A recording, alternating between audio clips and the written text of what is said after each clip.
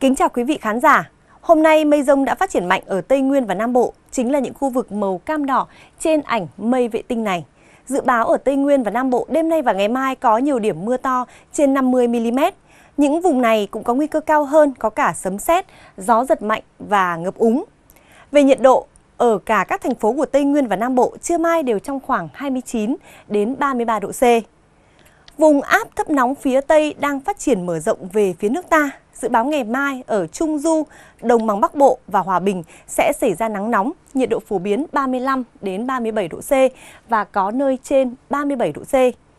Ở Trung Bộ ngày mai, cường độ nắng gia tăng khắp từ Thanh Hóa xuống đến Phú Yên, nhiệt độ phổ biến 35 đến 38 độ C và có nơi trên 39 độ C.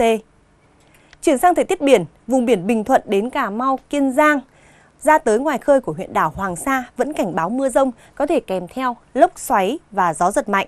Tầm nhìn xa giảm xuống từ 4 đến 10 km. Đối với huyện đảo Trường Sa, thời tiết tốt hơn, trời ít mưa, tầm nhìn xa trên 10 km. Cuối bản tin sẽ là phần dự báo cho một số thành phố trên cả nước vào ngày mai.